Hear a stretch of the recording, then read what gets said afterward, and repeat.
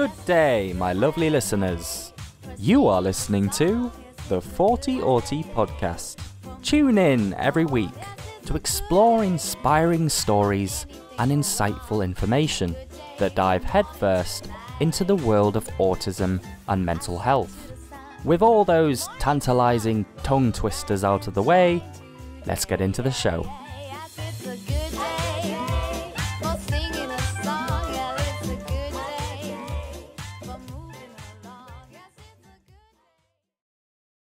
Hello, everybody, and welcome back to the Thoughty Auti podcast. Thank you for tuning in for another episode. I think we're at episode 10 now, so we're in double digits. And I am so happy to have you back here listening to me and my wonderful guests, which I'm not being mistaken, we do have two guests on today. A very, you know, a very new thing on the podcast. I am joined by the chronic couple, Matt and Brandy. Hey, Thomas. Hi. How are you doing? Doing good. Yeah, we're doing pretty great today. Yeah, excited to do this podcast with you. Yeah. Have you been looking forward to this? Because I know I know that we, we're we're going to be talking about some something that um, I don't have a lot of knowledge on, so it's it's going to be interesting for me as well to to listen to what you guys have to say. Um, and what what is the topic of today? What are you coming here to say? Um, I think that the message that we both um, really want to spread is that um, there the connection between autism and Ehlers-Danlos syndrome. Um, it's a connection that isn't spoken about a lot. Um, Ehlers-Danlos syndrome is something that is extremely painful. It's a lot of widespread symptoms, and it's really hard for people to get diagnosed with this. A lot of people end up d- getting diagnosed way later in life, and um, and so we've gone through this this whole process of you know finding out what's going on with us. Why do we feel this way? And and then over time realizing that we both had the same thing, which is it, it's an extremely rare connective tissue disorder, and um, and then going more into it, finding out through being more open about um, being autistic that a lot of autistic people have a lot of the same symptoms and have contacted us and, and said, you know, wait a minute, but that sounds like me.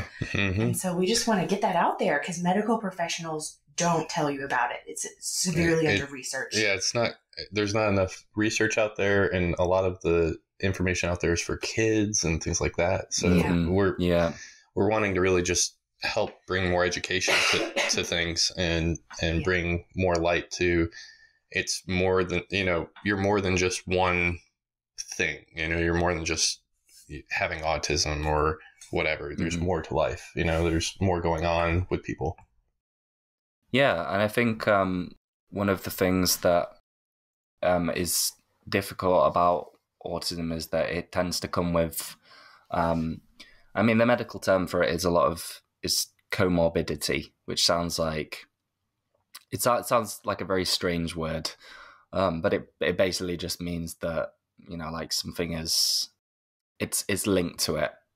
So like mental health and one one thing that I you know that you, you're coming to talk to talk about today, which is um, EDS, and um, I didn't really know much about it until I sort of read over your profile. But any, anyway, do you want to give everybody a little bit a little bit of an introduction into um, who you are and what you do outside of your work and your podcast and stuff? Yeah, you want to go first? Yeah, sure. Um, well, for me, I, I, I was actually more uh, of the supportive role in in all of this. Um, Brandy did a lot of the research into um, the chronic illnesses, and we'll go into more of that later. But for me, I, I've you know I've, I've been working a standard nine to five job and working from home and you know, supporting my wife and uh, during that process just learned so much about um, ourselves and the chronic illness stuff i- is what we both have been focused on for years. Uh, but what I do for work is more just I, I work at home just doing IT work and it's it's all just I mean it's all emails and phone calls and computer stuff so Mhm. Yeah. Very cool. What about you, Brandy? Um, so I am a uh, professional singer. Um, I was a background and studio vocalist um, for a while, and um, that was a lot of fun. It was in studio, so I didn't have to deal with crowds. but um, it's something that I've just I've always loved music and had sort of a, a feeling that it was something that I needed to to be doing. So um, I had a lot of a lot of opportunities that started to kind of come and arise and, and a lot of my career started sort of picking up momentum and um and the schedule of that i was in two different bands i was working for a label back in atlanta doing background Mm. vocals on other people's albums and um and so you know we were doing like the bar scene and and it just really started taking a toll on me physically to the point where i had to i had to just stop my body just shut down and I was bedridden for a while. Um, and I just was like, wait a minute, you know, I've always kind of had these health problems and had a lot of problems when I was a kid, but you know, I've been able to manage and push through. And, and so my, my career, um, really sort of aggravated that and made it worse because I suffer a lot with anxiety. So, um, being a singer was really tough because I loved being on stage so. but I didn't like what came with it. so, um, so yeah, that was that was tough, and and having my body just sort of break down forced us to be at this point where we were. I was just kind of like, what is happening? What is going on with me? And nobody knew what was going on. No doctor knew. No one. And um, and it was just such a lonely, scared place to be. And um, and so yeah, it's it's something that that made me sort of want to get this message out more. You know, this is a something that is considered rare, like a rare disease, but in actuality, there's a lot of debate whether or not it's it's not that rare. It's just completely underdiagnosed because the symptoms are so vast that people just can't pinpoint that's what it is.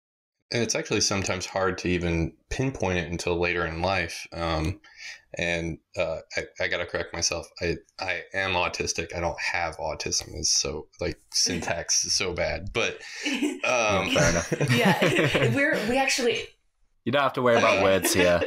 Oh, but the, the, the thing is, is, is it, it, it's kind of funny with our autism because her strengths are my weaknesses and my strengths are her weaknesses. So Yeah, there's so mu- much where it's like linguist linguistically. I'm not saying that right. yeah. Um, i- she's able to just help uh, refine what I'm trying to say, like Yeah. so like, often. Like you And- saying, like he's like, oh, I'm just an IT engineer. He's playing it down, or I'm just into IT. He's playing it down. He's like one of the top IT engineers, and he's like an international IT engineer. I mean, I- it's just it's so like hard. he's like, oh, I do IT work from home. yeah, because like it's just hard to explain. I just I, I go into the detail. I, want to be like, well, I connect all these TV companies and I Yeah. connect to their Oh, servers. he's and I in fix- charge of entire countries, but okay. Right? Yeah, you know, it's just. he just does little IT work. Yeah. Well. I mean, it's not like I'm resetting Can you can you get me in contact with some of the um some of the Yeah. TV companies? Liberty Global. I think you might know that one. Yeah. Uh, but Yeah. yeah. but that whole speaking of that whole like uh identifying thing that was something we we had to kind of learn like before Yeah. we had always been like um when we found out we were both autistic it was like oh you know i have autism or all of that. And then to to go through social Mhm. media and see these other autistic individuals saying you know that you you you want to um do identity first language and and say i am autistic not i have autism. That was something that you know like we're still kind of working on. We kind of slip up a little bit.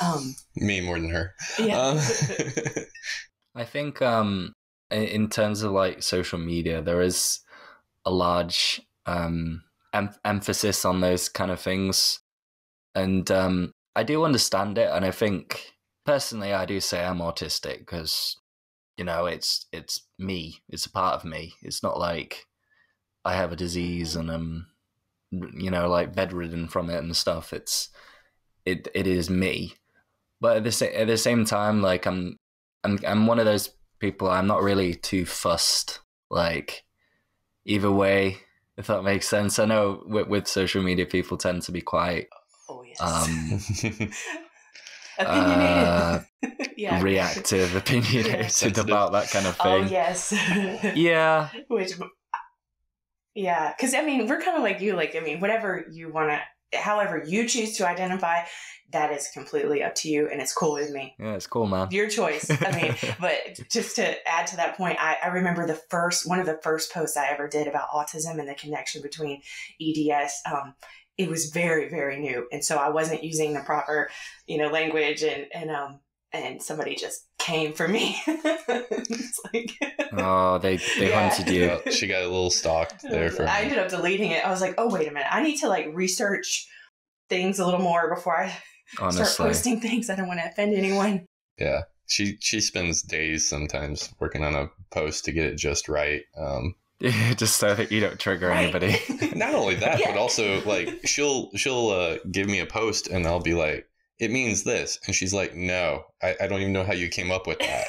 so, like, what does this mean to you? Do you understand what I'm trying to say here? and it's like ninety percent of the time, nope, I don't get it. and then she has to, yeah, it's it's a whole process, but it's it's great. Like I feel like we have some perspective with the chronic illness stuff, but also being an autistic couple. You don't see a lot of autistic couples either. No, it's it. You are the first um first autistic couple that I've come across on Instagram. Like I haven't. It's it's nice to to have have something different, and I feel I feel like a lot of the the autistic influencers. I know I know we've talked about this word influencer before, but it is nice. It is nice to have you know a couple. And how can I ask? Um, how long have you guys been together? Like, Seven years. Seven years. Yeah. Yeah. oh, Been a while. It's so crazy. how's that going? She hasn't kicked me out yet. Um, yeah.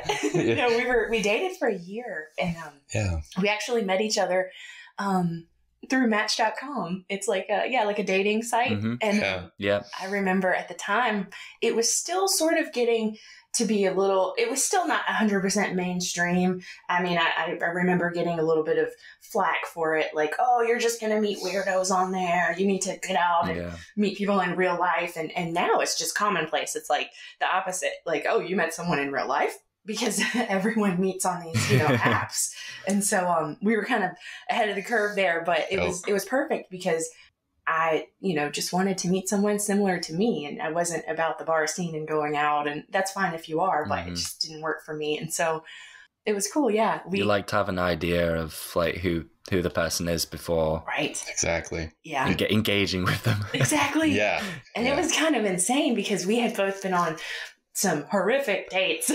and Yeah. um, when we met each other, it was just almost like, oh my gosh, you know, you're just like me. And we both had no idea we were autistic, but we both knew that we had these chronic illness conditions that the other one understood. And, um, and that was really cool because some people uh, will use that against you. Um, because they can't handle it. So um, we just clicked immediately, and we kind of start just started hanging out like Right away. every day. Yeah. it's just like it, it's interesting though when we first met um i don't i don't think it was the first date but it was pretty early on we we have these like party tricks that you can do with uh oh right, with the double jointness. yeah And, yeah, yeah. yeah we can both like put our feet like completely backwards almost and Yeah. stuff and pop things out of joint. I mean, I thought it was it was cr- it was great for me when I was like you know younger because I, I love to dance and you know things like that, Mhm. cheerleading and all of that, and so it was fantastic.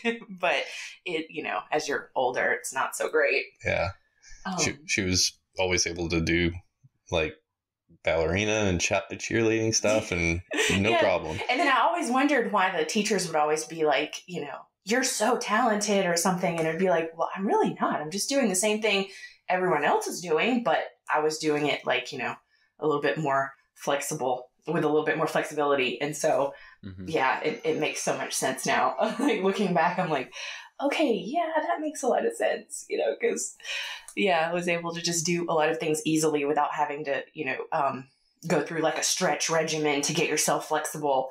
Um, she just woke up that way yeah, yeah, yeah. And so, it's um, I uh, the thing that popped into my mind because recently I've just been. Have you watched uh, Black Mirror? no, no we, but we've heard You've about watched Black. Mirror. yeah Well, there's there's an episode on there called "Hang the DJ," and your your like story of going through like bad dates and then meeting each other and just being like, Yeah. Yeah. Thank God. Like Fresh it air. reminded me of that episode, so you've got to watch it. Yes, Just to just to to know watch what I mean. Okay. It was. We were just like, oh my gosh. It was almost like someone as weird as I am.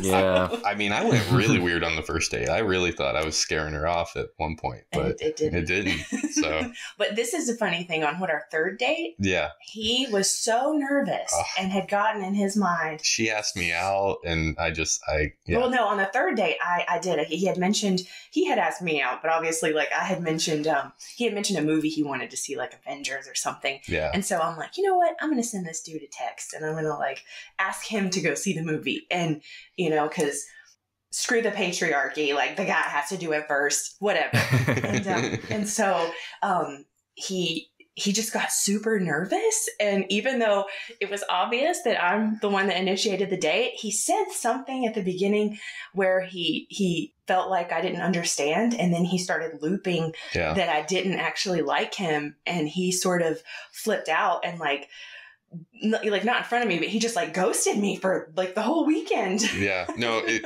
at the end of the day, I'm like, well, it's pumpkin time, and it was like ten o'clock Yeah. at night. Like, like it's it pumpkin wasn't time. even- I have to go to sleep. I'm like, are you Uh, Cinderella? I was Like? I was so embarrassed. It was It was so awkward. yeah. But the thing is, with with him, with me, I found the awkwardness adorable. I liked it, and so when these guys, I would go out with them, and they were all like Rico Suave, sort of like you know these. Um, Yo, what's up, baby? Yes, Yes. exactly. These types. I mean, it just made me want to barf. it's just like, give me somebody who is into like, you know, comics and like fun, obscure topics and sci-fi Yeah. and and I feel yeah. that. And so his awkwardness, I felt, was was just um, something that made him even more attractive. But luckily, by that Monday, he came to his senses and Yeah, it- it and just- got over it. it just took me what did you say you did? Like the whole weekend, he I just like looped over it. looped and played video games and just I, I honestly thought I, I kept on thinking okay today I'll message her or I'll text her or call her and I just I would start to text something and it would just be like ah no but she's no no I can't and it I just I kept fizzling myself out so, so funny how we get in our heads, Yeah. you know? it was I mean it really almost cost us our relationship if if I didn't call you back like yeah, I had yeah. gotten to the point where I was like, okay, I like that he's weird, but if he doesn't call me by Monday, he's gonna be a little too, like, too um timid timid, yeah, and shy for me, and that's not gonna work. And so, yeah, because I'm a I'm I'm a lot. so I'm like I'm I'm a lot of personality. So, but it, it ended up, and actually, when he called up me that Monday, it was like we talked for like four hours on the phone. oh both our phones died Yeah. we put them on chargers and the whole thing Yeah. it was great yeah and so it ended up working out but um, to go into another really kind of crazy story that a lot of people don't realize it's like um, the uh, the view that that people have sometimes of autistic people i mean i've been told oh you're a singer you can speak like you're not autistic or you're you know a little autistic or something and it's like hmm no, that's not the case. We, you know, it's just a neurotype. It's the way that our brains are made, and we can do anything that you can do if we want to do it bad enough for the most part. I mean, we, um, something that happened with our, our wedding is, um, we had kind of a crazy, a crazy thing. Um, we, uh, I've always loved this show here called Say Yes to the Dress. And, um, it's, it's Mhm. on TLC. Yeah, I've seen that. Yeah. And um, they kind of show you, you know, picking out your dress and everything. And and some people they get their weddings filmed. And um, and so uh, on a whim, I just decided to send in an email.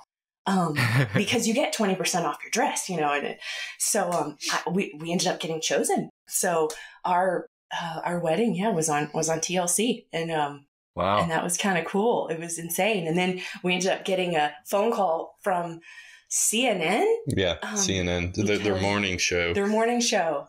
because of our our wedding date is 11 12 13 numbers guy. He yeah it. it, it, like two seconds after proposing i'm like so i was thinking about the wedding date and 11, 12, 13. and it's like it's not going to come around for another century so let's let's Yeah. do that and yeah, she, she was cool with it it was on a tuesday of all that. things so it really made it weird for, Yeah. for a wedding but It- we had to do the numbers. But yeah, so we got an interview. Um, we got interviewed on CNN about why we chose that date and Yeah. being on Say Yes to the Dress and all of that. So that was kind of interesting. It's like, yeah, you know, people, um, Cool. autistic people, we can be in the public eye and, you know, Talk- be, be talk on away. TV and do anything, you know? Yeah. Defo. W- We just might need a day later to recover from it afterwards uh, exactly. uh, from the sensory overload and everything. But I will say Mhm. it was a lot. It Yeah. was a Yeah, lot, but it's I feel like that. something that was an interesting experience. yeah. oh my gosh, yeah, it was it was a lot of fun. So, um, what what sort of drove you to start your your podcast and your Instagram stuff? Did you have any like motive in mind, or some Mm. some goal that you want to achieve with it? Um, for me, uh, I'm the one that initially started. We both had our personal accounts, and you know, um, excuse me. okay.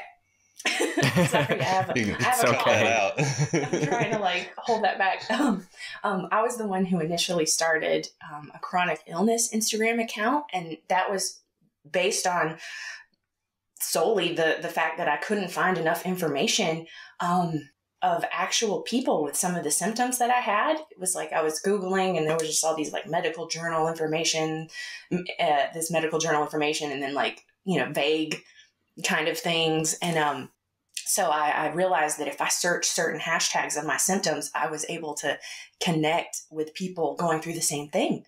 And that more than anything pieced together like every step. And um and so I thought, you know, I think I probably need to to make my own account so that I can also help people and give them the information that has taken me almost 40 years to learn. And um and so then it it sort of So snowballed filled in from the there. market. Yeah. Yeah. It's just, it was kind of crazy because then about what, three, four months ago, I started about that. Yeah. talking about autism and opening up about that. And then at that point, that's when it just sort of, you know, exploded a little bit because Yeah. so many autistic people deal with chronic illness. hmm I think. and- um I sorry, go on, Matt. Oh yeah, no, I- I was just gonna say like that. Her her buildup of the chronic illness and the just the chronic illness Instagram, and then when it's when it flipped, and uh, I realized I had autism as well, and or I have I, I'm autistic. Not oh my gosh, I, I Say that again. yeah.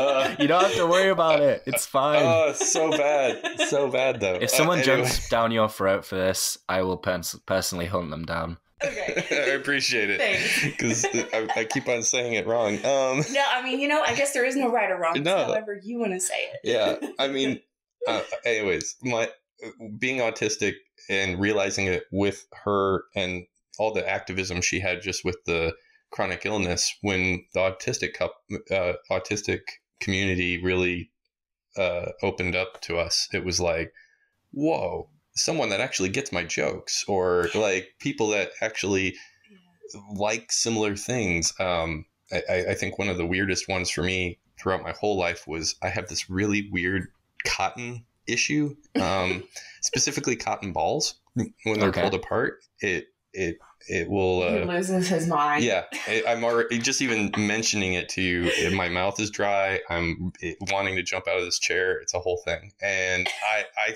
I really just thought that was just the weirdest thing that I had my whole life. Everyone in my family thought it was just fun to terrorize me with it, and I just n- didn't put it together It's until a phobia. it's a it's a legit thing. And now I'm like, oh, okay, now I know why.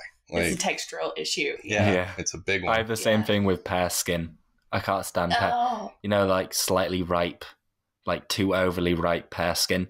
yeah. It literally, Yeah. it literally like sends shockwaves through my body of terror. Yes, Yes. yes. It probably bothers you just even saying it. I'm sure. Yeah, right. and- But I, I'm I'm a bit stubborn with anything.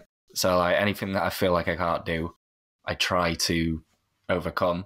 So I Mhm. used Yeah. to just eat pears, just dying inside, just trying to try to teach myself not to not to have that reaction. Yeah. But Oh, I so relate to that. Yeah. Like I'll, I, I can tell you with my singing, I love to sing, but I have anxiety disorder, so I I will force myself to do it. And so what ends up happening is I I barf before every show. Everybody knows mhm. bandmates, everything have a trash can backstage. Brandy's gonna barf, and then she'll be fine. And then I walk out on stage and I'm fine. But it's like I'm not gonna let that anxiety take over and run my life. I'm, I'm gonna try my best to overcome it. that's brilliant. And um, I think because my my so my past was that I used to be an, an athlete. I used to compete in taekwondo, Cool. Oh, cool. and I used to go competing like around the world and stuff. And I went to some quite major competitions competing for Great Britain. And I always, awesome. without fail, had a panic attack before every single fight. Oh, So Oh. I, I Yes. understand that struggle. Like oh. it's horrible. Yeah. It is. And then sometimes I remember once having one on stage and then having to barf on stage. and so, but I've had She a did water, it in a cup I had though. a water cup and I turned around and barfed and then came back and finished the song. Was like, you know, I'm not going to let it stop me, but it, it, it just definitely adds a layer of like, just um like a pain in the butt, you know, yeah. to to what you're trying to accomplish. Um, that's really cool though. Yeah, so I'm not the only one that does that. it is like it's it's very cathartic, isn't it? And you've you've got to kind of face that stuff. And Yeah. I think I think that there is a heavy influence from like anxiety and stuff like that. And my, my I have a very close you know, air quotation mark um, relationship with anxiety and depression. Like it plagues me. It's plagued me since I was about 14 years old, and it's still continuing to uh, affect me. And I think that there is there, there is quite a high rate of mental health comorbidity as well with autism. Absolutely. and- Yeah, and I'm still trying to figure out to what extent that is biological and what extent that is social. Because Mhm. I did my degree in biomedical sciences and I decided to look into that quite a lot. And it does seem that there are genetic factors for that kind of thing. But then there is also, but how do you measure the social influence? How do you measure the impact of bullying and being isolated and alienated and all that? Exactly, right. so it's yeah it's it's difficult in that sense It's that ex- that expression I've heard something about genetics load the gun, environment pulls the trigger. yeah definitely i i, I relate to that Yeah, Yeah, absolutely. because yeah, the environment being um, autistic and chronically ill and not knowing that for your entire life is rough. Yeah. Is rough. like we've both been like, you know, bullied and misunderstood, and yeah, and exactly, it's same depression, anxiety, the whole thing. Well, and and the thing is too, you can be you can be depressed or anxious about something that happened years ago, and it yeah will plague your mind for that days, and you just can't break from it. Um, I I, I do think uh, something that's helped both of us is meditation a little bit, but I mean that's only going to help so far. I mean, I think there's Um, meditation and medication. yeah, meditation and medication. Yeah, that, yeah, that's that's I was, probably the I was way to put it. literally just thinking of that you've read my minds meditation and medication Yep. Yep.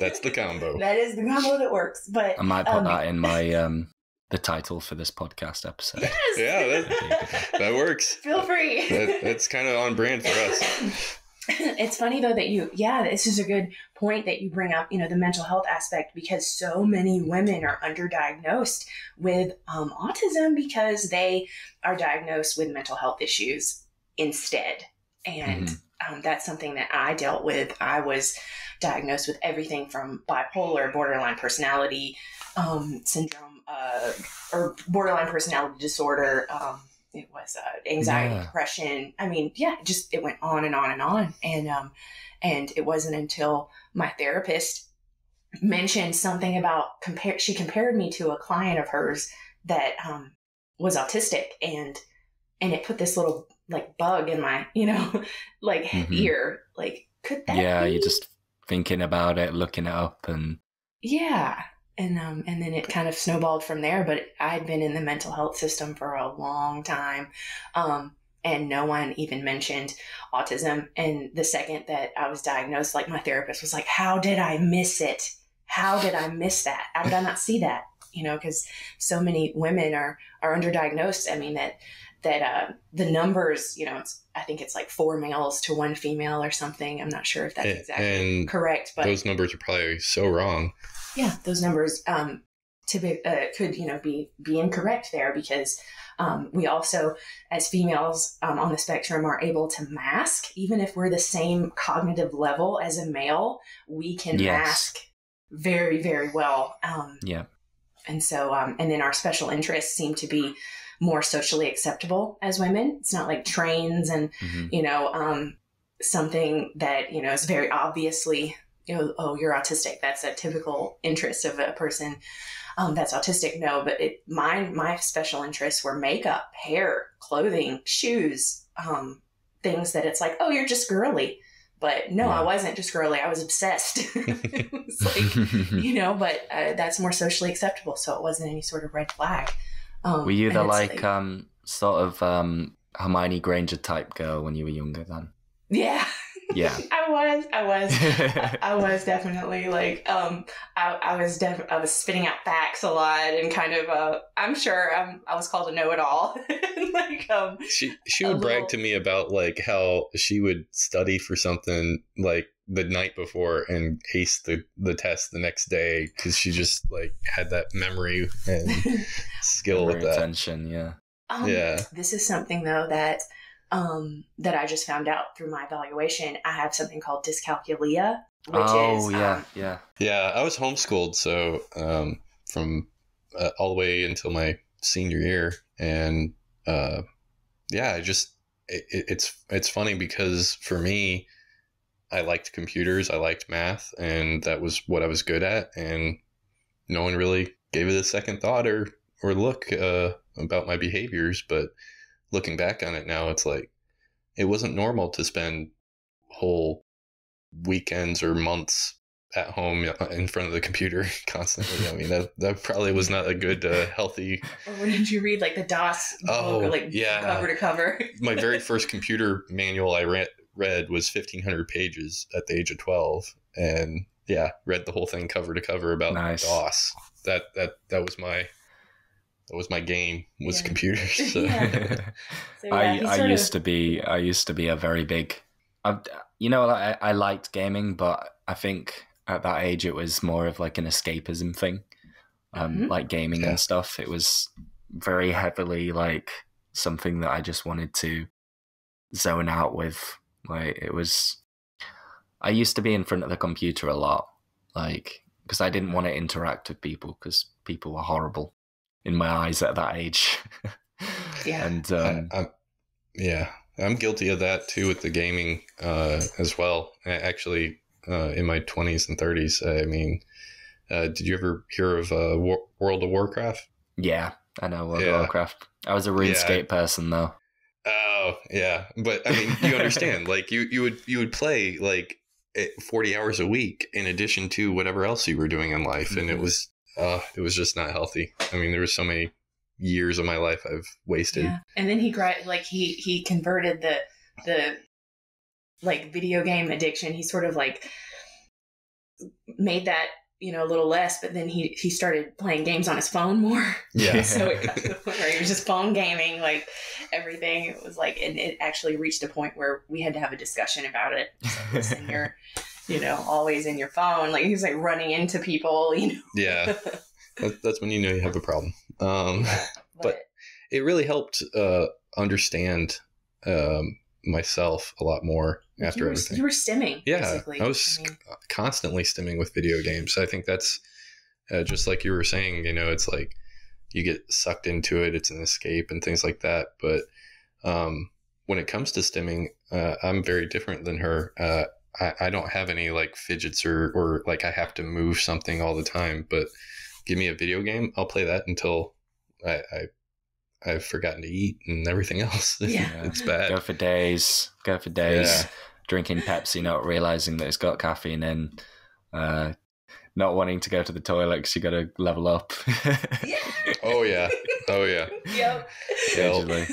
Yeah. That is totally him. Like I'll, I would leave for band practice, which would be like four hours, and I would come back and like he hadn't moved, like hasn't, yeah. I'm like, has the dog been out? Like, what's happening? That that would be a, an issue. So so um, you've uh, you've talked a little bit about your experience with with autism, just like you know, going through like what life was like and, and stuff. Is there anything else that um, happened when you when you realized you were autistic? Like, what what happened to your life? Where did it take you? Um, for for me, it, it it took me into really reflecting back on the rest of my life. Um, I mean, 38 years of my life feeling alone and not understood, and just a lot of negative self-deprecating thoughts. And um, after understanding I was autistic, and then also the comorbidity of um, having Ehlers-Danlos and POTS, uh, for me, that a a lot of events in my life where something didn't go like I, I wasn't able to like physically do something or like I couldn't properly communicate. View it in a certain way. Yeah, it just it really has given me a lot of permission to like just forgive myself for messing up. And mm-hmm. I think that really helped to just have less internal strife and dialogue because I, I mean, I, I could loop on something I messed up on years ago and it ruined my whole day if I let it. Hmm But it, Yeah. having that that knowledge of your of yourself and and listening to other people's experiences helps with being easier on yourself because it's it's not just the problem isn't you, the problem is everybody else and how they work and how different you were at the time. hmm I, f- I f- I Absolutely. feel like that that's how I felt when when I was reflecting on things. Yeah. Totally agree. Yeah, it really is um, eye opening. Just just Yeah. looking back, looking for all the the symptoms, and looking through listening to people and backtracking to different parts of your life, and just going, "Hey, you know what? Like, we had a bit of an un- misunderstanding here, and you know, I was different, and they're different, and we can go our separate ways and and feel all right about it now." Yeah. I think there's a lot of that with getting a diagnosis because I feel, I feel like most people when they say when when you introduce or tell someone that they have some autistic traits they take it as well why why do I have to do that it's like it can be the people the people who have the most like jadedness and hatred towards people like just because Yeah. because of their past and Right. they could see no reason for it just adding just adding on to the, the the problems that they have in their eyes but it's not about that is it it's just Mm-mm. understanding your life from a new angle that's true Yes. I completely agree with that because coming from a person who basic like myself who basically just believed they were crazy. I mean, it's just like I had had all these other labels placed on me that were incorrect.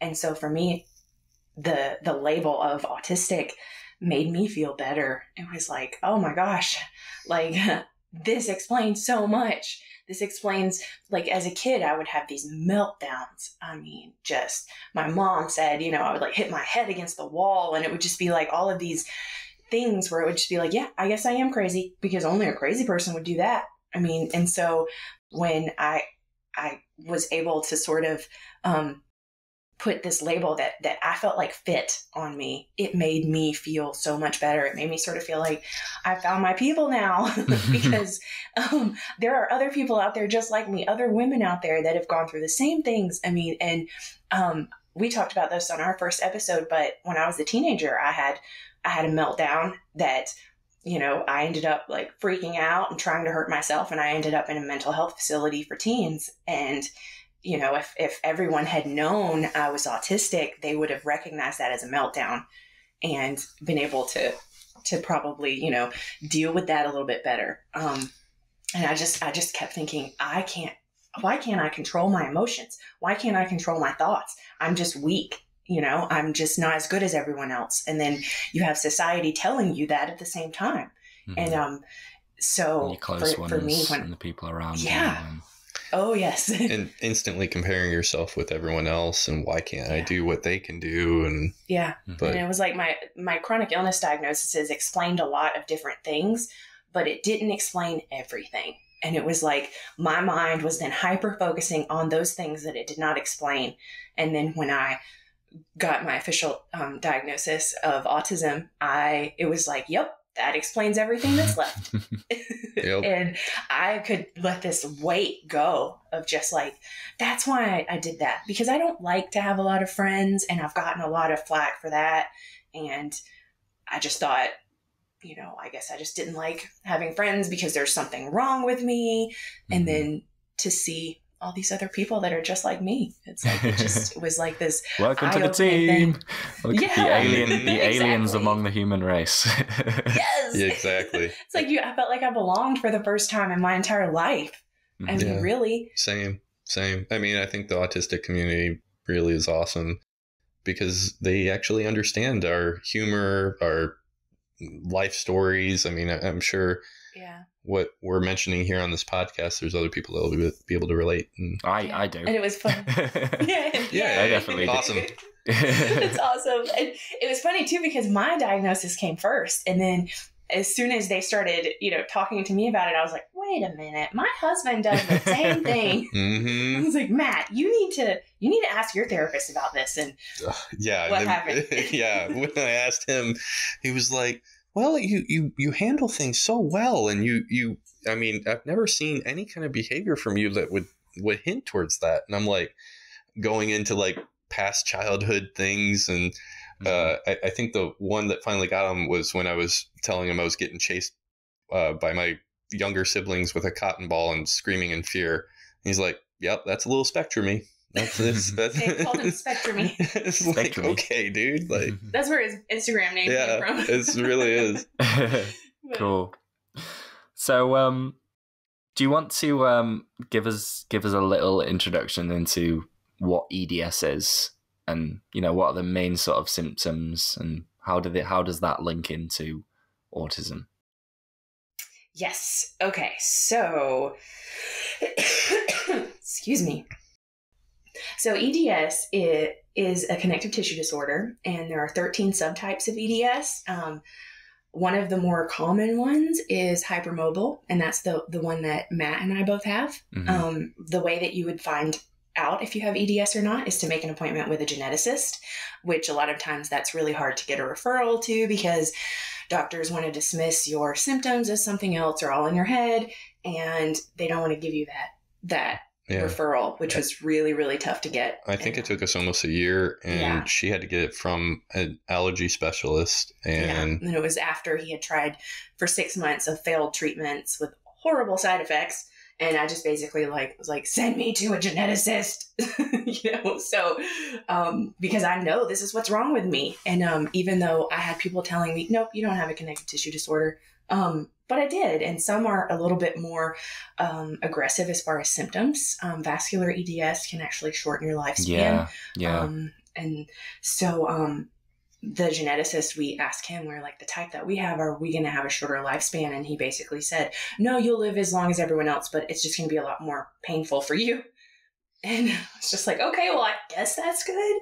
Um, but, um, you know, it's a connective tissue disorder, and um, basically our our um, body produces faulty collagen. And since Mhm. collagen is the main protein yeah. that you know builds the structure to your body um, and it's everywhere it's in your joints your skin In your cells, your ligaments yeah Yeah. cardiovascular everything because uh, our collagen is faulty all of our systems are pretty much affected and then it causes weak unstable joints um, we're prone to dislocations partial dislocations um, because uh, it causes heart and digestive issues a lot of people with eds also have something called pots and that's um, that stands for postural orthostatic tachycardia and um, and matt has that and Cool. then another comorbid condition of eds is mast cell activation syndrome and i Mhm. have that so Ah, and so you must have a lot of allergies then.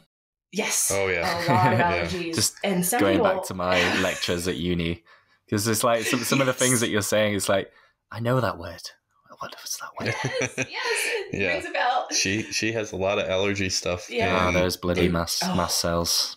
they're so oh, Oh. they're they're really I, I could curse here like they're really bad it, it involves But- lots of cursing. And on some that. un, some people, unfortunately, in the EDS community have what's called the trifecta, and um, that's EDS, um, POTS, and mast cell. Oh. And so um, we're lucky that you know we just got one of each, I guess, Yeah. um, from that. But um, but yeah, if you if you uh, want to visit um, the Ehlers Danlos Society website, that gives a lot of information, a lot of symptoms, um, and basically, you know, you can you can kind of get more information about it. Um, POTS and mast cell are are two things that that really really suck.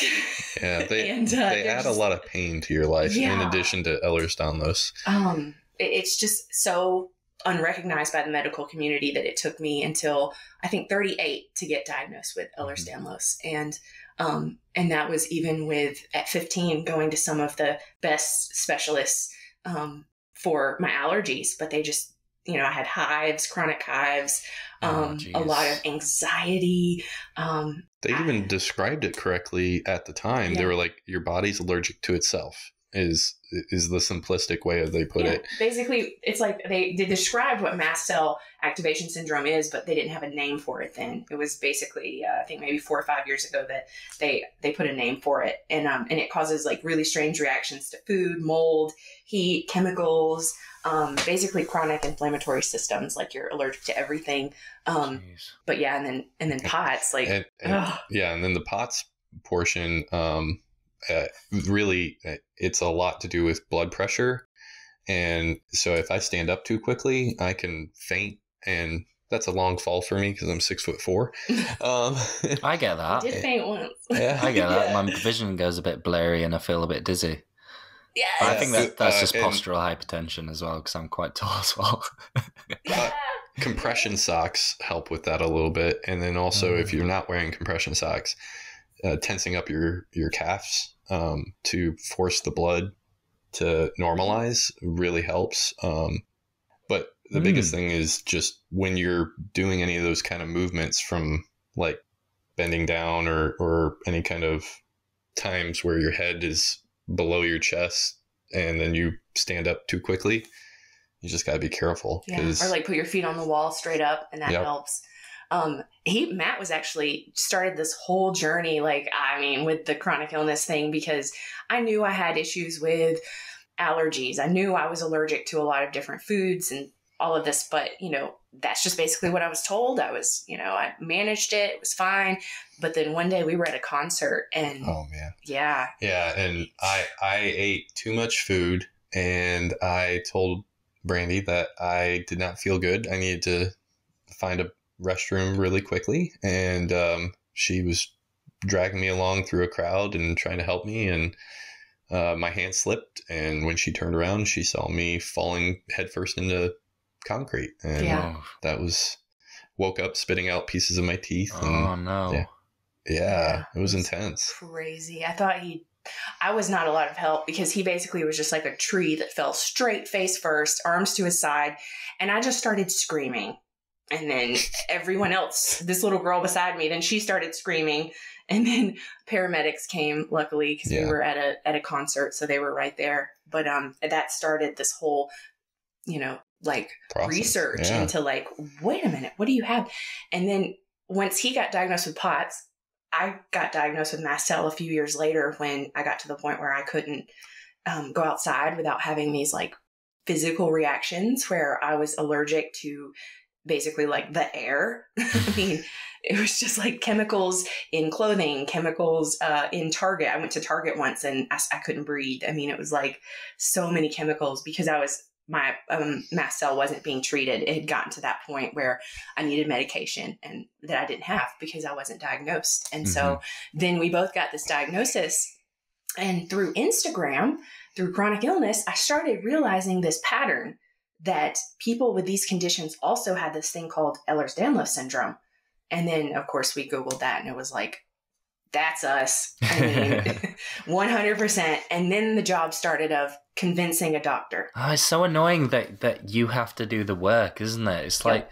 Oh yeah. Yep. oh, it's it's painful. It's painfully annoying because Yeah. it's like you have to do the work for it, but you also have to convince the doctor that they're not seeing something that they're supposed to be seeing, and that annoys Right. them. And then you you just Mhm. get in some annoying little sort of there's Yep. a situation like where you loop. keep going to like tell them, and they're like, nope. You go back and you're Right. like, nope, and then they give up, and then they, they do it, and they're like, yeah, you know what, you Yeah. were right. Yes, of course I was goddamn right. Like, Yeah, right. right. Exactly. and then they they keep on going like, well, you know, it could have been this too, and you know they try to make Yeah. themselves feel Mhm. better or whatever. There's so many doctors that Uh, want to just take my diagnosis and shove it in their face. Yeah, Be like, oh, really? Told you so. but, you know, it's like, yeah. And that was a long road getting that Oh, whole geneticist can take years to get into. Luckily, we got in six months, which was a Yeah. little less. But um, yeah. And then, and then once we started talking about um, autism, I started finding these other accounts of, of like way too many because you know we notice patterns. Yeah. So Yeah. I started pattern noticing all of these autistic accounts with Ehlers-Danlos, and then I, I, you know, went down that like rabbit hole of research, and it was like a very um, under researched subject um, that is a comorbid condition for a lot of people who who are autistic, and it's like.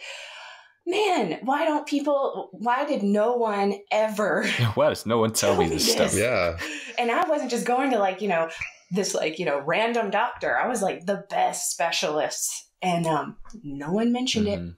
yeah. It's like It's it's crazy, and th- then you hear of the best of the best, and they're like, "Oh, it's going to be thousands up front, and it's a multi-year waiting list or things like that." And it's Yeah. like, I mean, it's just insane. and even now, like the the view of autism is so um, misconstrued. Like I have a, a specialist that I go to for my mast cell um, uh, syndrome, and when I'm, he's like, "Oh, anything new going on?" And I'm like, "Yeah, um, I actually was diagnosed with autism, and so I, you know, found that out."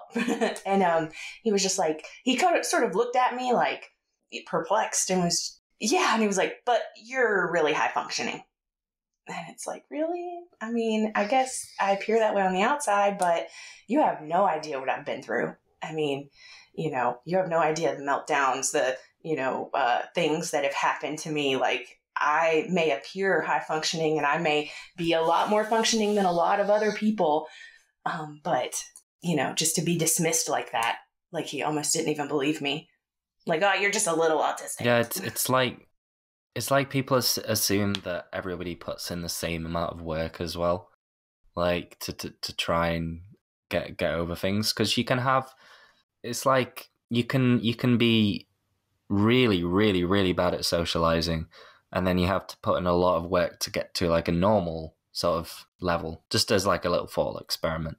But then like if you could put in like a mass amount of effort and get really good at socializing, but you could initially be really bad at it. hmm And people only see the the the peak of that, don't they? hmm Absolutely. Yeah. They don't understand all the the the behind the scenes thing. It's like they they they feel like they can tell you that, Right.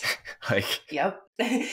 even though you, they're not yeah, you. exactly. And you know, it's so funny the way that that my doctor speaks and talks. I was looking right at him, and I'm like, I wanted to be like, and I think you're on the spectrum too, because I could see it. I could just see it the way he spoke. Do a little of a double click, Yes. double click. It was like he didn't make eye contact with Uh-huh. me, anything, and I wanted to be like, uh, you might want to check yourself there.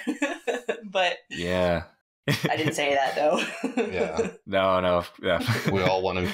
People that usually don't respond well to that, and I don't know why. Well, I mean, I do know Yeah. why, but they shouldn't. but it's like it is. It's almost like from this side of the fence. It's like it's it's like I don't know why. I mean, it's not.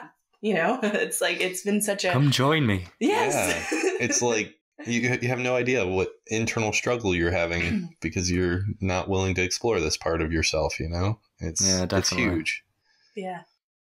So, um, what are the most common difficulties like do you find that are associated with EDS? Are there like things that you try to avoid, or like problems that that cause a lot of difficulties in your life, like even even like now? Um, Sure. I can tell you, uh, chronic pain is the biggest one. I mean, Absolutely. I read an article where a doctor actually, this sounds extreme, but um, a doctor actually com- compared the pain that a lot of people with EDS have to the same pain as cancer patients. Um, because uh, for uh, s- certain times, when you have a flare, it's like, for instance, um, I've been in a flare for what do you say, two weeks?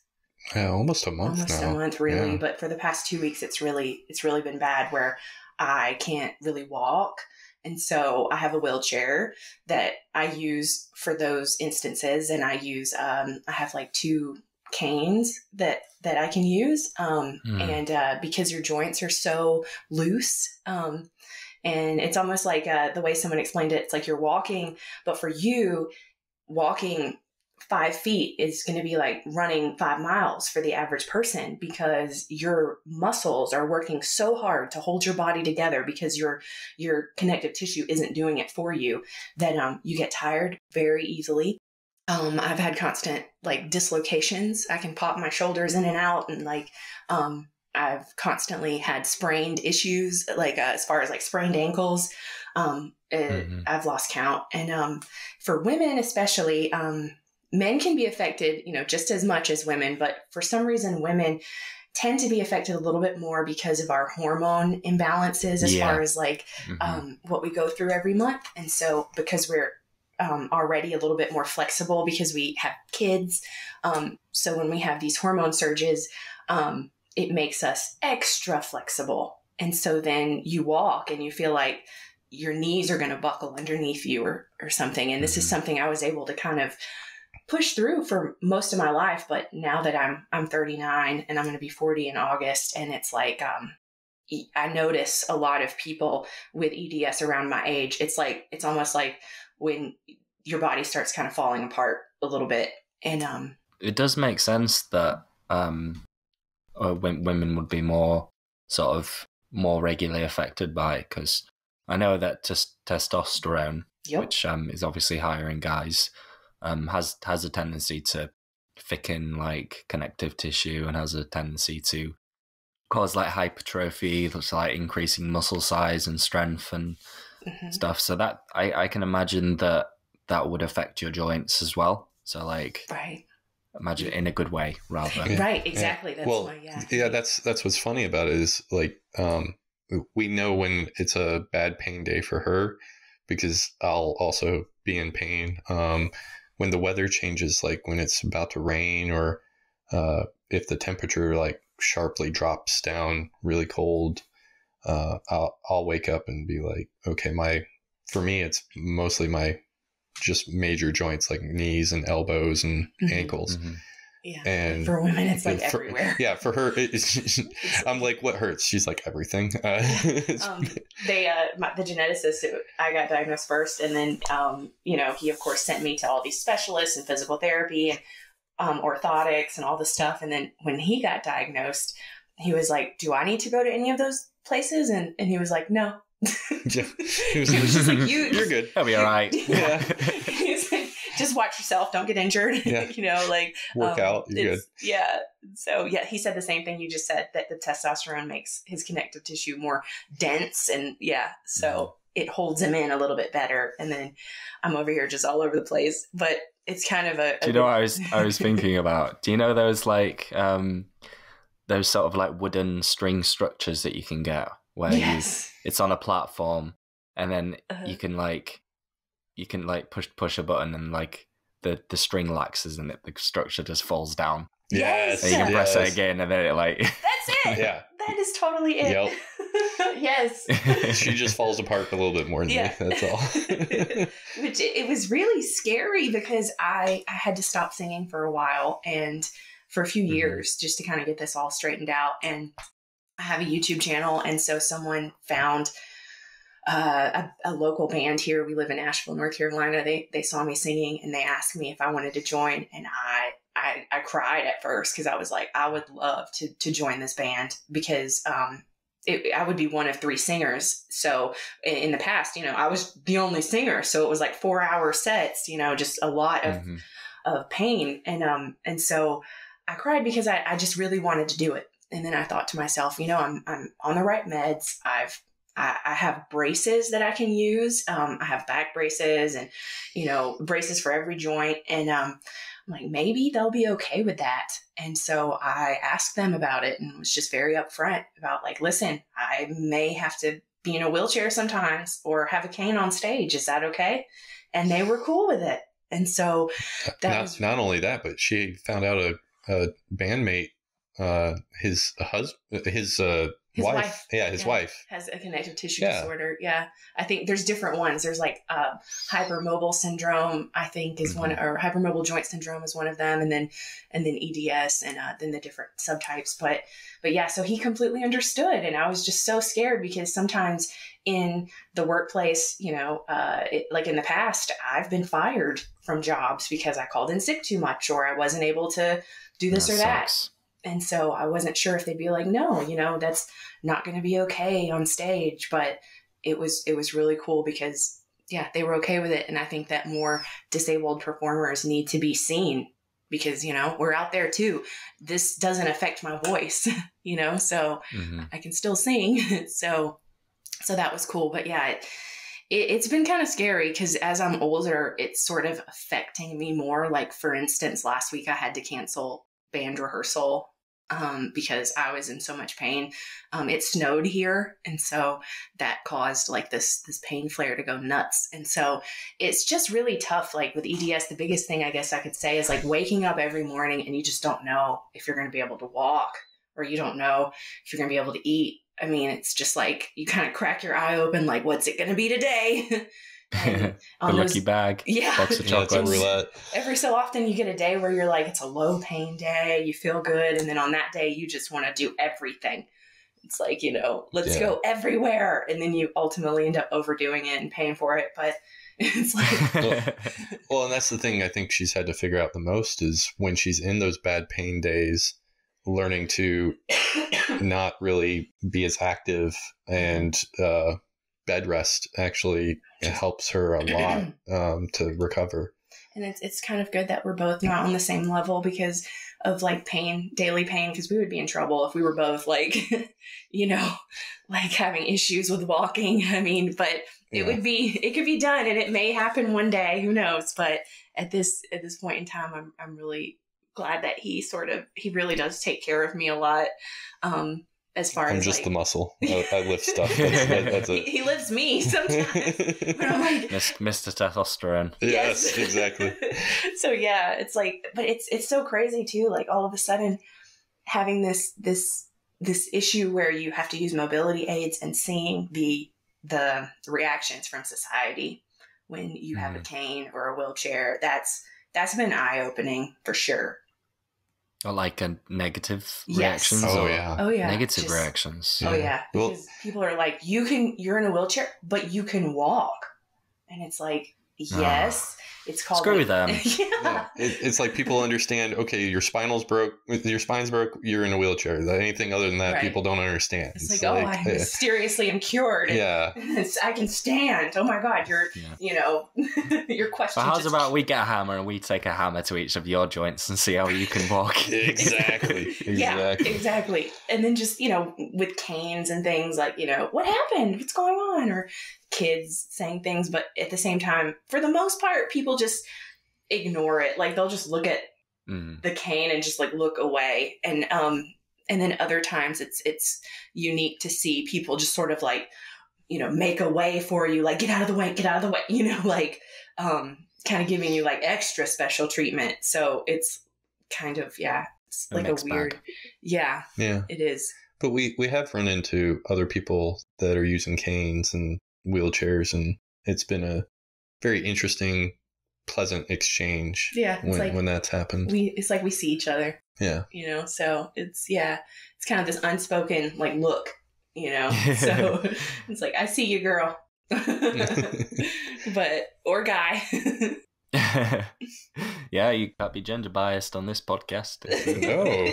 yeah We're covering all the all the genders here. Uh, so, what measures do you put in place? Because you you've talked about you know wheelchairs and canes and uh, bed rest and stuff, but are there any like different sort of therapies or medications um, that really help with the you know the chronic pain and the difficulties of EDS? Uh, the one word weed. weed uh, helps a lot, or uh, cannabis is also known. And uh, Mhm. uh, we uh, have been both. Actually, Brandy introduced me to cannabis, and it's been a huge part of our regiment to manage our pain. And It's also a mast cell stabilizer, which I had no idea. So as soon as I found that out, I'm like, that's Yeah, why I was It's such a anti-inflammatory, isn't it? Yes. yeah, Like that's why I've been a pothead because I feel better.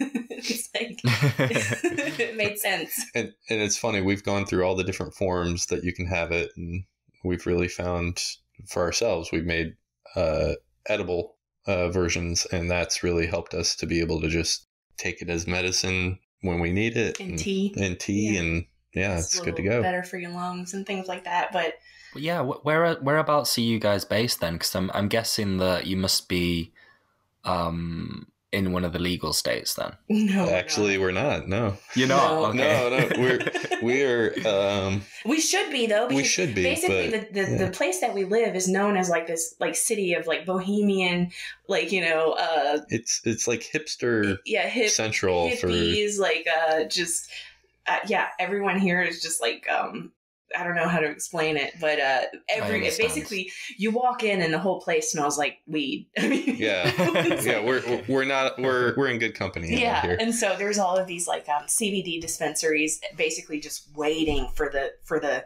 for Mm. the go to turn into actual like you know um, dispensaries. Um, so yeah, but it's it's been kind of rough because when we first moved here, we didn't have a connection to find any because it's you know it's and we had to just take what we got, which is super dangerous. It needs to be um, something that is regulated so you know exactly what strain you're getting, and sometimes that's really hard. Um, luckily, we Mhm. found someone here, and Yeah. you know he's he's super cool, and yeah, and um, but that took a, a while. So, um, but then on top of on top of that, um, you know, uh, the the right medications for me um, so far, I've I take something called hydroxyzine, and that helps neuroinflammation. It helps a lot of um, racing thoughts racing thoughts. Helps a lot with anxiety, and it's also an antihistamine. And I read a study about how Mhm. a lot of autistic people actually benefit when taking hydroxyzine because it helps to calm the neuroinflammation and it helps with anxiety and um and in fact some children who took it um after they started taking it i think transdermal patches um some of them that were nonverbal became verbal and so um this is something that my mast cell specialist put me on for for MCAS. Um, that's you know basically the abbreviation. Um, and when I researched it, it just so happened to be something that that helped some of the the traits and comorbid things with autism also. So, and he had no idea, even though I, yeah, I know I know that um uh, antihistamines can they, they are um also a sedative unless you get it in a different form. right, Yeah. And I I have had antihistamines before and they do sort of chill me out quite a lot cuz I'm I'm on um I'm on multiple sedative medications. Not not because uh, because they're sedative, but I'm on um, an antidepressant called mirtazapine, which is quite a heavy sedative. Um, and I'm also I also know that SSRIs are as well. So I'm on. I've, I've recently gone through a, a big medication change, which has been absolute hell. oh it's the, so those are the worst Oh, it's Oh, like Jeez. just trial and error. Let's just throw this and see if it works. Uh, it's nice, nice that I I knew in my t- my head that it was short term because the worst thing is is when you know that you feel like there's no, it's just never ending. Yeah. But um, my my mum has been put on citalopram as well. Um, she's she's on it and it helps her a lot, and it it has very limited side effects with me now. And I've, right. I've been on it for about three weeks now, and it's it's been quite good. Oh, It's just that's- about managing the anxiety now. that that's huge That is so huge. I mean, yeah, like uh, hydroxyzine, it's I'm on like a high dose and and it knocks some people out, but for me, yeah, it's like after about a month, I got used to I got used to that, and then um, it also promotes deeper sleep, which I have an issue with, and so when I do fall asleep, it helps me to stay asleep longer. But um, but yeah, I finally like evened out on the on the reactions on that, and um, and then I also take something called cromolyn sodium, which is a very um, uh, it's actually a, a drug that's a mast cell stabilizer. It's in liquid form, and not a lot of people know about it. I actually found out about that through Instagram and then had to convince my doctor to put me on it. And after everything else he had tried had failed, and um, and so then yeah, it, that was a big one as far as my um my symptoms there. Um, but the Helped a lot with their allergies yeah, the and bad food part about about mast cell though is that you have such a reaction to additives in medication that um and Mhm. vitamins and things like that. So in the past, when I've tried antidepressants, I end up being allergic to them. So Oh, that really sucks.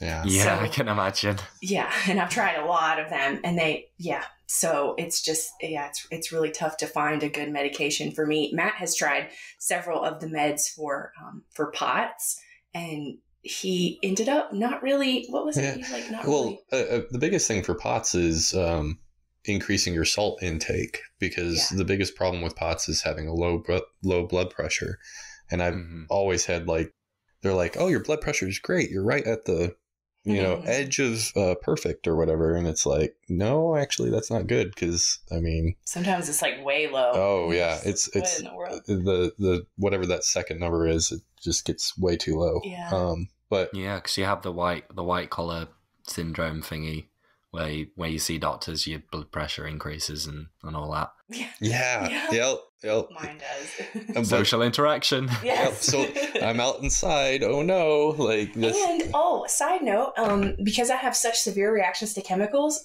because doctors' offices are so heavy, heavily cleaned, I end up having to wear a face mask when I go to the ER or all doctors' no. offices Mhm. because it I react to all the chemicals in there. Yeah. So, It- and it, it, it's so insane because uh, even though I don't have her physical reactions of like turning red or not being able to breathe, because we've been together for so long and going through all this, I will pick up a smell sometimes when like before she's even in said room or whatever. preemptively. yeah, preemptively, I'm like, okay, watch out over here. There's a smell like this. You want to go? Oh, you know, it's just like this whole directional thing based on smells. Which is really cool. Like, yeah, I think you're the sometimes sniff now- dog. Yeah. Yes, he's like a bloodhound over here. But yeah, and he has sort of like same issue, cologne and perfume. Oh, that sends me like over the edge, Mhm. and um, and that's really tough. But Yeah. um, but yeah, yeah, it's just for you. What just braces? Braces 'Cause none of the and meds salt. really- Yeah, it was just salt and like I mean I take some good like vitamin supplements that are supposed to help Yeah. with POTS and things He's like that. but- Able to tolerate vitamins. I'm Yeah. not, and so the something about the additives. I don't know. Um, Yeah. But as far as this being like something that's linked to autism, it's crazy because um, they really just don't know why. They, there's not really a there's a- there's a not enough info out there. reason. Um, there's a lot of speculation. uh, some sometimes um, with with genes, uh, they have there's this thing called the hitchhiking effect, Mhm. which is uh, when when certain genes get passed on, for some re- for some reason they get they get passed on um, during during you know when when those genes sort of uh, risen uh, rose up you know ages ago a while ago. Sound very scientific right now yes. um, and um, those when those genes are passed on, they can they can carry other genes that aren't particularly good for you, um, or advantageous in any way, and then they can pass it on, and that can be very highly comorbid Mhm. with something else. So that that could be a reason because I know that in in our society today, autism is considered to be um, by medical professionals considered to be a disability, but there is always a reason for why it's around. Like, there's a reason for why ADHD is around, and that's because if you if you need someone to look after you during the night, you want someone to be able to jump up and have loads of energy just completely awake at the drop of a hat. Um, people with ADHD are great. Yeah. And um, if you true. need someone to sort of sit on their own and, and come up with new ideas and um, sort of invent things and stuff, then autistic minds, you know? Oh yeah. And Totally. then uh, you can get that hitchhiking and it, you know, that could be a reason. Right. Uh, Yeah. The the general consensus I've read is just that because autistic people we have such hyper aware brains, immune system, central nervous Mm, system Definitely. that it just makes everything a little bit more. Um, yeah, just kind of express itself a little bit more, and that can mean negative things too. So, yeah, because I know sometimes if I am in a situation where even um, where there isn't a smell or a scent or a trigger, but I just get stressed out or Mhm. sensory overload or a meltdown, then I will then have severe like EDS flare. I mean, hives, mast cell flare triggered by stress. so, hmm my triggered by myself. so, So about the um, like, how does marijuana help with your condition? Like, are there are there any sort of like noticeable things that you can you can tell that it helps with? Because I'm Um, quite interested. I've done a lot of research into it because I find um the to- the topic of like how drugs affect you know the Mhm. brain and the body and stuff Right. and um I, I know about the whole like T- THC and CBD and terpenes and all that stuff because it interests me. So how how does it help? For me, it, it helps because um, this is the the crazy little conundrum here. Um, a lot of people with EDS, we have to have pain management, um, and so you know, uh, opioids seem to help, but because I have mast cell you don't want to touch those things. I can't touch them because I will break out in hives. Or, I mean, or if I do take pain medications, I mean, I have to be like on death's door. I mean, because I know that I'm going to have a reaction because of it. So, Yeah. um, for me, marijuana was something that I didn't have a reaction to for the most part. Um, on occasion, you you do though if you get something from someone because it's not regulated and here and um Mhm. and they may have used some sort of chemical or something on it, and then I would have a reaction. But um, for the most part, that's something that I was able to take for pain without a lot of side effects. Um, but I, I will is- tell you. Oh, sorry. Go ahead. Is it is it more of um sort of what what sort of side of of the marijuana helps? Like is it the THC or the CBD or Uh, the combination of both because what Yeah. happens for me is if I do just THC, I get super paranoid. Um, so uh, the anxiety sort of gets worse. So for me, mixing the T the CBD with it helps kind of even it out so that I I don't like get in this like freak out loop. so And and I think Yeah. the interesting thing about uh, weed and the combination is it really is about um, the strand and how much you take, and it's all very personal to you. I I, I don't think anyone should really think, oh yeah, if same person takes this as another, they're gonna have the exact same reaction. Everyone is so different. Oh yeah, I know people who they just you know one puff like and they're gonna be freaking out. I mean, it's just it's Mhm. obviously not made for everyone, and I, you know, have that fine line that I toe a lot where you know I try not to get too high because I will I'll get paranoid. But Matt, on the other hand, he has no too high. No, I, I don't know He just becomes like- term. Yeah, like uh, like himself. yeah, you know? it, it's So- it's it's weird. I, I mean, I think the worst side effect I'll have is you know hungry and little little uh, forgetful. But other than that, I mean, I'm Yeah. I'm, I'm good to go. But I, I think the biggest thing is um, that regulation part is you know until it's regulated, until you are able to go somewhere and get exactly the yeah. right version with all the right combinations of terpenes and CBD and all that, it's just always going to be a, a hit or miss for us, unfortunately. yeah, I did read Because somewhere though I that have I have done a lot of like um you know research into the into the benefits of of it. And there Mhm. there are so many so many things that it could treat that would that change people's lives if they could get it regulated, if they could get it, you know, refined and, and proper and um Right. dosed and and all of that. And it's it it's just mind boggling for me to hear about like all the opioid addiction and all the, the, the Yeah. problems with those medications Oh, being yeah. so rampant when you've got this other thing that's you know the one of the only worst things that you can really get from it in the long term would be that sometimes it can aggravate tendencies towards schizophrenia but it, even then it, it doesn't cause it it just Mhm. makes it happen quicker and it's it's mad for me like Yeah, I exactly. think that people just have this stigma around it, but we do have um, CBD. Like CBD is legal in the UK now, and Oh, Oh, that's awesome. I I have you know like CBD tea and and and all of that, and that really helps with my my anxiety. That's like nothing helps. There's like you know sure sure maybe I could like drink, but that's horrible. Like it's really damaging for you. Mhm. Oh, I can't drink. Mm-mm. Definitely not a good idea. Turn bright red. But then CBD just helps. Like It really it just does. quietens down my, my mind and my, and my anxiety and it helps me sleep and it's, it's it is massive for me CBD and Oh, it's that's great. it, it would just be nicer if it was a bit more mainstream and Right. I know that there is like a heavy interaction between THC and CBD so Mhm. we have to Uh, have less than 1% in anything so if it was like 2 or 3% like it would have more of a an effect like a more of a calming effect but more of an anti-inflammatory effect but we just don't have the regulations at this Right. moment So in time. fair. And I think that's why it's important for all of us to like change the stigma of Mm. what that is. I mean, it's like I smoke weed every day, and you know, it's just uh, the the stuff I'll get from it. Sometimes like negative comments and things.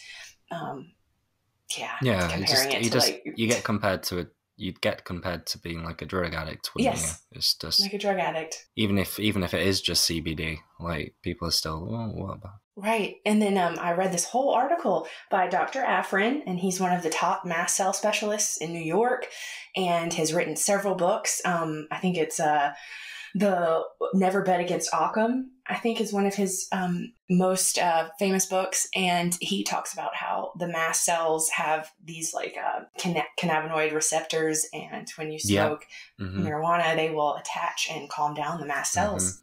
So it, it, it does. It kind of helps that tremendously, really. Yeah. And, Yeah. i can and imagine It, it just, it's maddening, yes, that it's like, you know, a doctor will be like, here, you can have this, you know, uh, drug that is Dangerous. Mm-hmm. highly addictive and dangerous and, and don't take too much, you'll OD. But this thing over here that's natural that you cannot OD on, it's like, you know, um, or you could just go for the, the the legal high of alcohol and damage your white matter and your brain and Oh, your yeah. liver and your organs and oh yeah, interact Yeah. with your medication and exactly. Yeah. Oh, that was another thing when we first found out both that we were both um, on the spectrum. We were like, "That's why we can't drink," because I mean, so many. I mean, some people, you know, on the spectrum can drink just fine, but like a lot of people can't. And both of us would have such like crazy reactions. We would be out with friends, you know, our family members, and and you know, ha- try to have a drink because we would feel pressured or something, Mhm. and um, and then both of us end up, you know, barfing, feeling like death for three days. Yeah, it's like the hangover is like quadrupled or something. Yeah. It's it's I, I'm definitely like I'm definitely like a heavyweight in that category. yeah. no, nothing like it take takes a lot for me. yeah. Yeah. but then one the the uh, the backlash afterwards is just maybe maybe you're a little younger than us, so you, you, you Oh, haven't yeah, experienced suppose, it yet. yeah. But It's But, like a- yeah, because I uh, could drink a little bit more, like in high school and college, and like Yeah. yeah, I could drink. You know, I I felt almost like pressured to drink, but I would never understand why. Like I couldn't just like bounce back the next day like everyone else. You know, Yeah. so but uh, during the drinking, yeah, during the drinking, yeah, I was you're Superman. You know, Yeah. you're good to go. But But as I've gotten older, yeah, I, I can't, I can't do it anymore. Like one sip, and uh, we were out somewhere, and I think, yeah, I was like, I just give me a little. Maybe I'm just gonna try it. You know, it's like a Mhm. margarita or something, and I looked like a lobster. Remember that? from one sip, One yeah, sip. I was so red that I was embarrassed to be in public. yeah. It's like, we It gotta wa- go home. But but the thing is, like learning about this kind of stuff and sharing this info, someone hearing or reading something on Instagram, it could help open up doors and give them ideas of, oh, I need to go to this doctor. Or Oh, I can't you- even tell you how many Yeah, a people. lot. a lot of the, the difficulties with any sort of things to do with doctors is that you sort of you come into it a bit immature to just what medical stuff is like. You feel like that you're just going to go and they're going to give you a list of possibilities and then try out each possibility. But it's Mhm. more of you've got to collect evidence together and then try and push it on them constantly to try and get them to respond to you. That's Yes. that's the main the main thing that you've got to do if you want to help yourself. Mhm. It's a lot of effort, like on your part. A And if you right. if you've got like that. mental health and stuff, it can be so difficult. Like oh Oh yeah, the Yeah. combo yeah is a lot. because Mhm. if you mention Combo that you have yeah anxiety or something like that then their first go-to is that you're a hypochondriac or you're just you know it's all in your head or it's You're yeah trying to get pain pills or who knows. Oh, that's the biggest thing when you have like a, a pain flare that you have to go to the ER and then they just send you home because they think you're a drug seeker and oh, so it's not even worth it anymore. I'd rather No. just you know not go. She's had nights where it was the level of pain where we should have gone to the ER and just we both knew it would Yeah. just be sitting and waiting and nothing really coming from it. So yeah. And it's scary I've had because you don't similar know. experiences, like Yeah, with with having like panic attacks and stuff, and right. You think you're dying, and then it's like y- with stick chronic you in pain. a white room, yeah, stick you in a white Worst room thing. just with a bright light in your face on your own, just like twitching, like for hours. Yeah, hours not sleeping. Yeah, yeah, exactly. It's like, oh my god, it makes you worse. And then like, and then with chronic pain, you just don't know whether it's just your normal chronic pain or if it's an actual injury. yeah. And then, do I have like appendicitis, or like, am I am I dying? Like, I mean, and then these thoughts kind of loop of like, you know, maybe I should get it checked out, and then ultimately it's like, nope, it's just your good old EDS pain, and um, it's kind of learning after a while to recognize the difference, which is really hard. yeah. yeah. Okay. Um. So I feel I feel like we've we've got, we've got through a lot there, and um, we've talked about a lot of things. Would you like to give me a couple of couple or, or triple of points um, from the podcast that you want people to to go away with, like you want people to remember and um, take on board from what we've talked about? It's always a hard one, so don't don't worry if you take a bit Yeah, of time. I mean, this is a hard one. Um, I, I think one of them is you know there's a great like online community out there for chronic illness and actual autistic adults out there uh, where you can really get really the best information I think out there Oh, yeah. because y- you know you've got all these research papers, all this medical jargon, and it just doesn't even sound real, let alone helpful. I, I feel like the communities out there online and talking to actual people that have lived and gone through these things, it, you're just able to get more out of it than Yeah. your typical Google search or whatever. Right.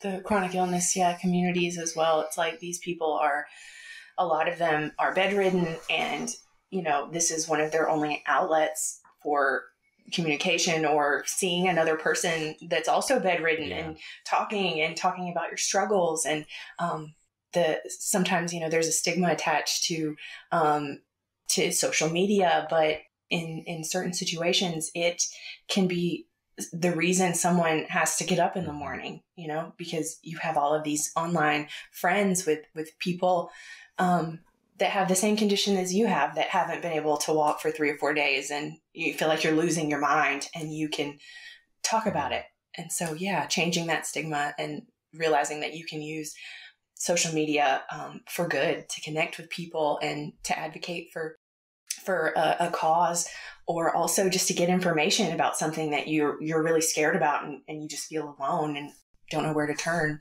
Yeah, and it, I, I think a second point would be uh, very similar to the first point is just question things more que- eh, for yourself. No, don't just take what you see online um, at face value, Or what Do- your doctor's told you. Oh, yeah. Like like you know when there's something wrong with you and ev- if everyone is telling you that there's not, advocate for yourself. exactly. You know if you know something is legitimately not right or you want more insight on something, become your own advocate and and realize that you're going to get a lot of no's and you just have to keep going. Yeah, yeah especially and unfortunately, especially for women, uh, it, it seems to be like I, I, I don't know. I've I, maybe it's just because I've seen Brandy go through so much of this, but I feel like there was so many times where she got questioned where I was like, uh, do I need to go in there and beat up your doctor? so, so that, that it's definitely you, you got to stay strong with a lot of this. Um, yeah. it's it's tough. And I think too, just uh, making people more aware of the connection yes, um, that uh, autistic people have with EDS as a comorbid condition, because um, you know, for for people for autistics who are nonverbal, they may be in tremendous pain and have the physical symptoms of EDS. Um, but nobody know that. No, they may not be able to communicate that. And um, so, uh, when I started talking about this more, um, I got a message actually from a special education teacher and was like, I had no idea. a lot of my autistic um, students are extremely flexible and are, you know, in pain. And nobody has really, you know, um, delved into that part or aspect as much as they should have. And she told me that, you know, she thanked me and said she's going to start telling all of her, um, the parents of her students um, about this. And um, so just getting that message out there, I mean, yeah, that this is a comorbid condition that um, that affects a lot of autistic people, and it's and it's rare, and there's not a lot known about it, but um, it's something that that more people need to know about. Is there a, a last um, last little point that you want to bring up? like changing the stigma, or I know that changing the stigma about what people think autistic people are like. yeah, I mean, like just knowing that we're more than just people that are like whatever view you have. We're more than that. Yeah, yeah, yeah, because um, for me, before I was um, autistic, I had this view of what autism was that was deeply incorrect. Um, and it was kind of an ableist perspective, honestly. Um, and so uh, when autism was discussed with me, it was like, um, no, I'm not autistic. No, you know, and like, um, but I kind of went back and forth with it in my mind, you know, it like planted the seed. And, but my initial response was like, you know, no, I'm, I'm, I can't be that because the people in my mind that, that first came to my mind were, were children I had met in school that were, that were diagnosed autistic, but then they also had an intellectual disability. And so that's Mhm, the difference. And, um, I think a lot of people get those two confused, um, that it's, it's a neurotype and, uh, and, um, yeah, it's, it's not what you, what you think it is. yeah, a lot of bad assumptions. Yeah, there are a lot of bad assumptions, and there's there is a lot of stigma, but I feel like it's not um, it's not intentional bad assumptions. I just think that people don't really know about it that much, Exactly. and we are. We, I mean, to be honest, we are a very we are a minority. You know, like one or two percent, and you could you could argue that you know that's never stopped us before about trying to give equality and, and stuff like that. And but we, we are sort of just starting to join the, the bandwagon of awareness and stuff. And hopefully it will take us to a place where it's more int- integrated and we won't have to have you know so much mental health and horrible life experiences for autistic people. 'Cause it's like it's it's getting to the to the point where it's if I was ever going to consider having like a child or something, I'd have to honestly weigh up whether I want to bring an autistic child into the world, not because they're autistic, Mhm. but just because Of what they'll be exposed to. Yeah, Exactly. and it's it, it does play on my mind a lot, and it's Right. it's like what what would I do? Yeah. It's it's difficult. Yeah. Um, and that that leads us into the last question, which is, what does autism mean to you, Matt? Would you like to um, Sure. answer this Yeah. first? Um, it it really means for me understanding my behaviors in the past in better ways. I, I feel like I'm able to process my traumas and other struggles. Like more I've learned about the more I've learned about autism and how to cope with things I struggle with, I, I feel like it it makes those past events um, not as harsh on myself, and I I- I feel like Yeah. the more I've learned, the better I've been able to forgive myself for things that I've Mhm. misunderstood or awkward situations. Or, I mean, sometimes I even make observations of stuff that I'm just repeating back what I see, but the way I see it and the way I say it, either someone's going to laugh and be rolling on the floor or think I'm very peculiar, odd, and want to run as far away from me as possible. It's it's one of the two. So um, He's unintentionally hilarious so many times, yes, uh, along along It's the best way to be. yeah, it's fun, but it's it's it's also it's a little difficult. But I I really feel like learning about autism has helped so much um, in growing as a person, and I, I, it's just been great. I mean, I think not knowing for almost forty years was harder than knowing. I can't imagine. Can't imagine. How about how about you, Brandy? For me, I think what autism means to me is just um, it's who I am. It's it's something that I no longer see as a disease or this horrible like tragedy to be autistic. It's something that I now see as just the way that that my brain is is connected. It's it's a neurotype and it's a group of people that I belong to that make me feel heard and seen and it's something that made me feel so much better about being different because hmm now I feel like being different is is better. Being different is more interesting. Um, being different isn't wrong, and I think that um, being autistic for me, yeah, it's just it's it's who I am now, and um, it's who I've always been, and um, I just didn't realize it. So, yeah, it's something that that's basically like set me free from this eternal loop of beating myself up that I'm just a horrible person. And so, um, realizing that I'm not a horrible person, and that was a a response from people around me who didn't understand me, and um, and now it's like autism has helped me find my tribe and people that that get me and like me just the way I am. So, yeah, in ways it's made my life harder, and I understand that. But in ways it's made my life better, and um, I think that's something that we want to talk about. And the reason why we have our own podcast is just to to get that message out there. You know, change the stigma. Absolutely. Brilliant. Thank you. Thank you both for that. Yay. Yay! Thank you. So, would you like to um, give out some links? Because I know that you um, you mentioned the podcast there. Um, Yeah. So is there any links and sites or places that you want people to go to? Yeah, so if you just search the Chronic Couple on YouTube, or I think we've got like 11 different podcast platforms we're on. So just search the Chronic Couple and you'll find us. Um, and then on Instagram, Brandy's at the dot chronic dot couple, and I'm at spectrumy underscore Matt on Instagram. Yeah. And yeah, follow us on both of those platforms. And yeah, and then um, and for more information on EDS, there's the Ehlers Danlos Society, um, and then from there you'll be connected to their social media platforms, and um, there's a lot of information there as well as like specialists in certain areas, and um, and yeah, a lot of good stuff there. yeah, Um, I think that's really the main links and things we want to Yeah.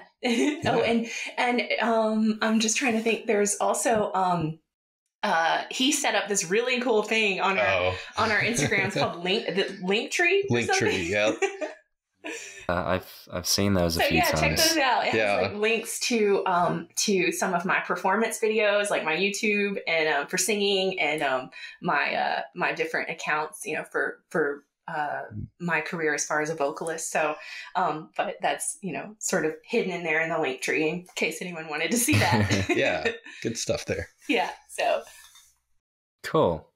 And um, if there's if if there is anybody out there, uh, for anybody for anybody out there and um, listening to this podcast episode, you can always listen to it for free on Spotify, Apple Music, and YouTube. And if you want to see some more videos related to autism and mental health, you can always check out my YouTube channel at Asperger's Growth. And then obviously Instagram, Twitter, all of that stuff at Asperger's Growth. Um, guys, thank you so much for coming on to the podcast. It has been great to talk to you and it's been very insightful. in something that I don't have a lot of knowledge on, and it's um, definitely been very interesting for me. Thanks. Have you enjoyed it? Thank Yeah. you for having us. Yeah, it's we been great. Really did. Yeah, it's it, it, thank you so much for re- reaching out to us. It was great. No worries. Um, so yeah, this is this has been the the tenth the tenth Thoughty Auti podcast episode. Um, we're definitely getting through them. Um, and yeah, thank you so much for coming on. And I hope to speak to you again at a later date, possibly on your podcast if you let Oh, me. yeah. yes, absolutely. Of course. It'll be great. cool. Anyway, all said and done. Thank you, everybody, for listening to us monologue about autism and EDS. See you later, guys. Have a good day. This has been Thomas Henley from the Asperger's Growth channel and the Thoughty Auti podcast. See you later. You can say bye as well. Thanks. Bye. Thanks. Bye. Get lost. Oh, okay. yeah. Yeah. Just end it like that. Yeah. Yeah. No, it's okay. Go do something. We can have defi- definitely various outros. yeah. Yeah. exactly. Mm-hmm. Yes. Stop a good procrastinating. Get your executive functioning stuff done. Yeah. Bye. exactly. Yes. Yes. Don't forget to eat. Bye. no, I know one. Drink your water. Bye. Yeah. That's a good one. Oh, Always need to drink water. yes. More That's a big one. That was so fun, though. Thank you so Yeah. much for having us. It was us. very good. No worries. Let me uh, let me just stop the recording now.